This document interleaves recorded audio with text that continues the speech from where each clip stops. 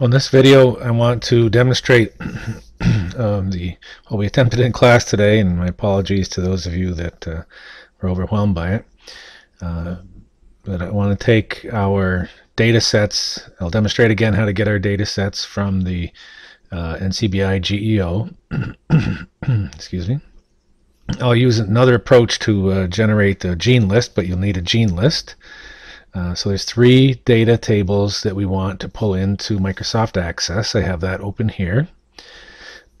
we are going to want to pull in our uh, gene annotation table. It'll be a file that starts with GPL that we download from uh, uh NCBI GEO. It's a platform, that's the PL. And then we'll have the actual uh, transcriptomes, the GSE file uh, the data sets, and then with the samples, and then we'll have this third table, the uh, gene table. So what we want to do is use that gene table to extract information from the uh, transcriptome data sets. But you'll see as we proceed uh, that we need the um, the gene annotation table to do this. Let's start first. I've got um, access, my screen recorder, access, and Excel open, excuse me, and the, the windows back here. Uh, so I can bounce back and forth. So if you get all three of those open, should be good to go. With Microsoft Access, what first comes up by default is a blank database. Over here on the right, you can click on a folder. Um, I'm just going to send mine to the desktop.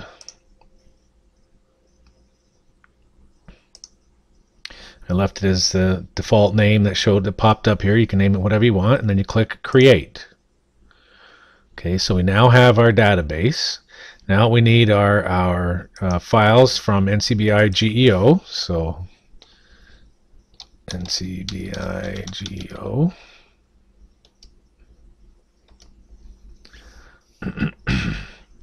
here we go.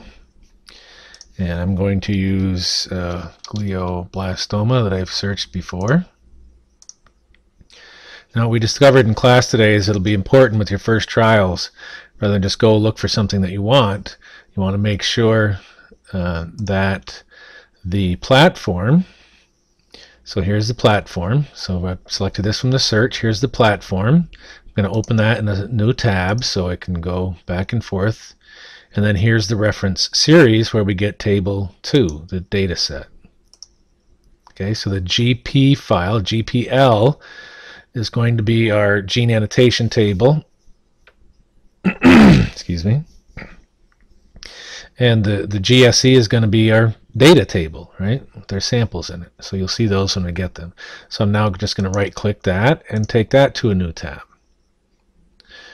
Uh, did I already do that? Anyway, so here we come. This is the gene annotation table.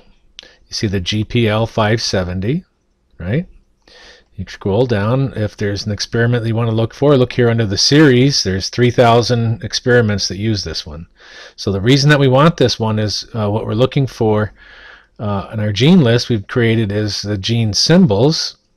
So make sure that you have a column, gene symbols, because this is what will match. Our gene list will match this, and then the data tables that we download will have only this and not the, the genes. So in our, in our uh, database, we'll be kind of linking those together in our query, as you'll see. Okay, so I download this full table. There's uh, my first one, and I'll open that in Excel and change it a little bit and then save it. Okay. So um, that went into my download folder. So I'm going to show in the folder. and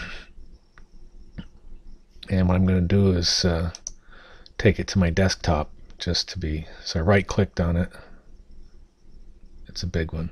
And I'm, you can copy, I'm going to cut and then take it to my desktop.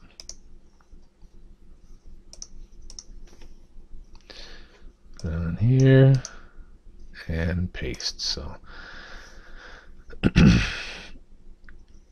okay, now we come back, Geo Accession Viewer, and then here's our study. Okay, there's the GPL, that's the platform that was used. There are 92 samples in this particular study. I can capture all of them uh, with this series matrix. But before doing that, I'm just going to click on one of the samples. So you see, and you scroll down, and you see here's the ID ref and a value. That's it. That's what's in the table. And it's a log 2 uh, GC RMA signal intensity is what they used. Okay, so let me go back. Now I'm just going to get this series matrix. It's going to be downloaded as a zip file. See the .gz at the end of it. Okay. Now, uh, once this is downloaded, it's a, it's a big one, 20 megabytes. So these are big files, so you got to be careful how you're handling them. Still flashing, now it's ready. Okay, showing the folder. And I'm just going to right click on it. You see mine shows the GZ file over here.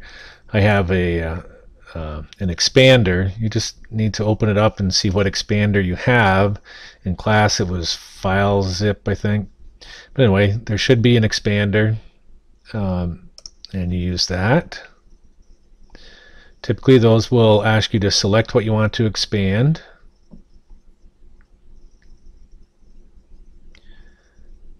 Uh, where'd it go?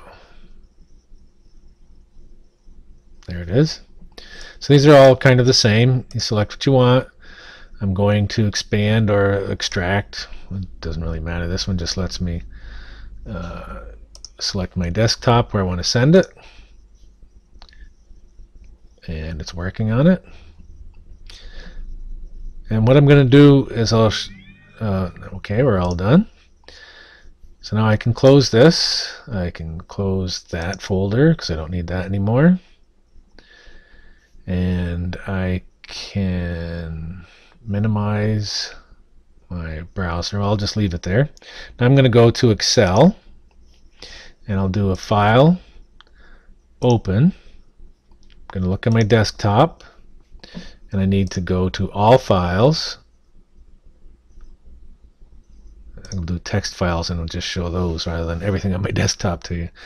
Okay so this is the um, the gene annotation table so 58 megabytes and you go through this it's tab delimited okay Get a little preview window down here. It's tab delimited. I don't need to change anything.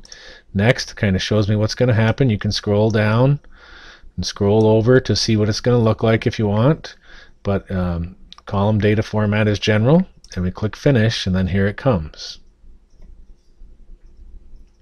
So what we're going to do next is um, do a file save as. I'm going to save it.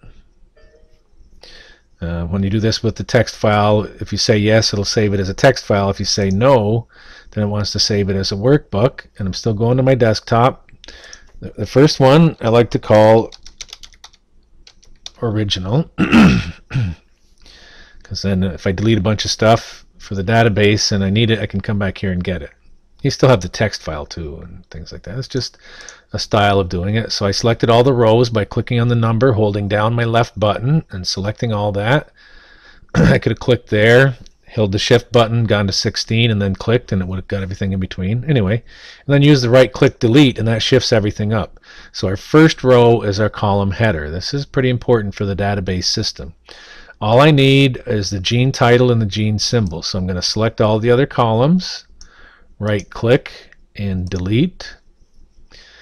Um, I like to have my gene symbol in the B column. I don't know. So I right click, select the column, right click, cut, and then right click, select column B, right click, insert cut. It shifts everything over. And then I get here, and then you can go across. I just go really far, make sure get everything. Hit delete, and now we've just got three columns in this. I'm going to do a file save as. So I got a gene symbol in here. If your gene annotation database, uh, gene annotation table doesn't have a gene symbol column, and you have your gene list is gene symbols, nothing's going to match in your database to pull anything out. So I'll do a file save as. and I'm just going to change it to a DB on the end. when I go looking for files to bring them into the Microsoft Access, it's nice to know that that's there. Okay, now what I'm going to do is just make a gene list. Okay, copy. I just selected some gene symbols and the gene symbol thing there. All I need is uh, a new file to put that in there. Paste, file, save as. It's going to be Excel. I'm going to the desktop. Gene list. okay, so that table is done. I'm going to close that table. My gene annotation table is done. I'm going to close that. Now I need my uh, desktop. I need my GSE. That came down as a text, so it's the same thing, delimited, tab. I know what it is. I can just click finish as long as you haven't changed the settings on there. Now, somebody in class said that you can just drag and drop your file or something like that. I haven't made it work yet, but anyway. So again, we got to get down to the the headers. Here it is, the ID ref. Right click, delete. That shifts everything to the top. there we are. File, save as. Not a tab delimited. I want an Excel workbook. I uh, could have done original and then a, a, a DB. I'm just going to put the DB here. That's a big one. Taking a little while. You notice this down over here. If you get in trouble, it says press escape to cancel. That works pretty good. Okay, now I think this is my access here. So here's access. We created the file. Now what we want to do is go to external data bring in the Excel file, browse, desktop. I'll bring in my gene annotation table first. it's long, a lot of rows. Now make sure that this is clicked, right? We got our headers in the first row. Okay, if you don't do that, then it messes things up. That's good.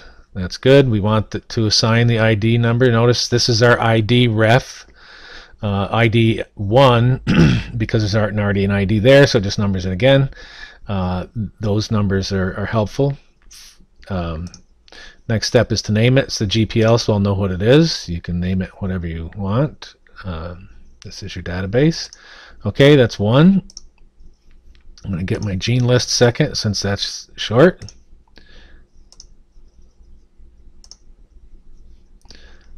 only one worksheet. If you had something on the number two and you wanted that, that's where you'd tell it. Get, make sure that first row is your header. Then it's going to put the ID in there. I'm just going to finish. So called it sheet one. I can come over here, rename it. you can always rename over here. Bring in one more. Only got a couple minutes left. uh, and then our matrix, open. Okay. I may have to do one more. So it's recognizing that. And I, I know what it's going to do. Just pull it in. I might just have enough time to show you, depending on how fast this is. I'll have to do another recording, I think, to show you how to do the query. But you can do this, stop it, slow it down, do whatever you need uh, to uh, create your database. and then I'll uh, take you through this part and even do an analysis uh, for you for the next recording. Okay, you can stop watching now if you want. There we are, we're done. So what we're going to do next, if you're still watching, is we're going to go to Create, and then we're going to go to Query Design, and this is where we'll add our tables. Uh, we don't need table 1. I'll add the gene list, my uh, annotation table, and this, close. Then we're going to go gene symbol to gene symbol. I'll do it again in the next one. This. I'm going to select, I want to put uh, my gene symbol, gene title, and then you select um, all of them, uh, drag and drop,